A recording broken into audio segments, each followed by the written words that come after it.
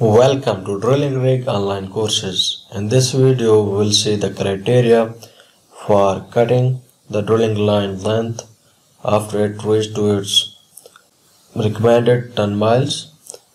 This is very informative video so see this video till to the end. Please subscribe and press bell icon to receive more videos.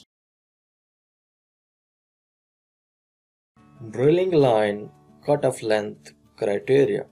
When work done by a drilling line in term of ton mile reached to a certain recommended ton mile provided by manufacturer, we need to cut a certain length of drilling line and discard it because the drilling line on the end of the drawwork it will go more wear and tear and we need to discard it for the personal and equipment safety.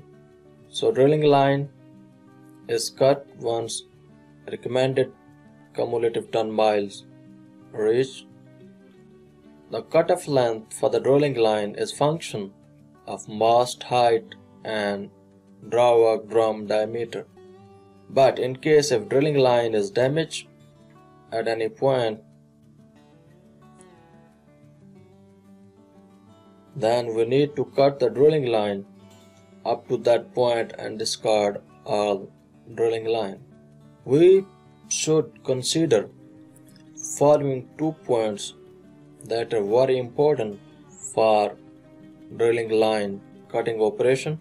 The first one is load pickup point on crown block and traveling block sheave. When we latch elevator around the string that is hanging inside the rotary table pick up string and take out the slip out, at that point the drilling line which is in contact with the traveling block sheave and crown block sheave it will go more stresses, more wear and tear and crushing so we need to avoid the shuffling of these points between traveling block and crown block. So what we need to do to prevent this is we need to take care that we should not cut the drilling line length that is multiple of the distance between crown block and traveling block sheave and traveling block is at lower position light the elevator for picking up drill string from the rotary table. Another point is draw drawwork drum lap points. Lap points mean where drilling line start new layer on the draw drawwork drum. At the lap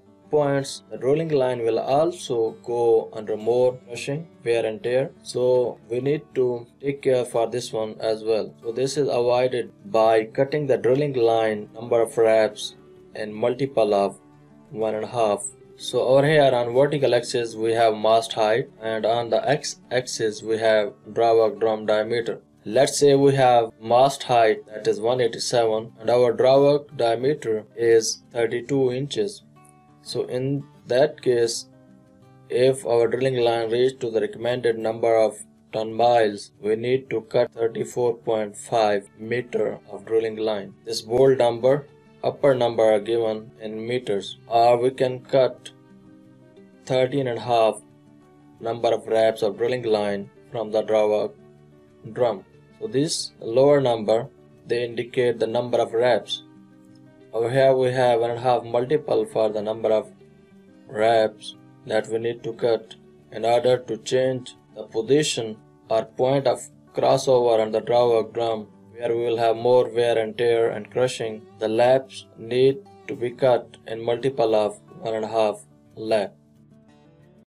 We are providing online courses for drilling rig. More than 6,200 students already enrolled.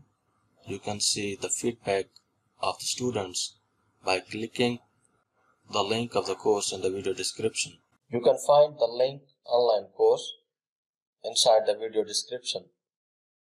We create discount coupon code time to time, but these coupon codes are for limited time.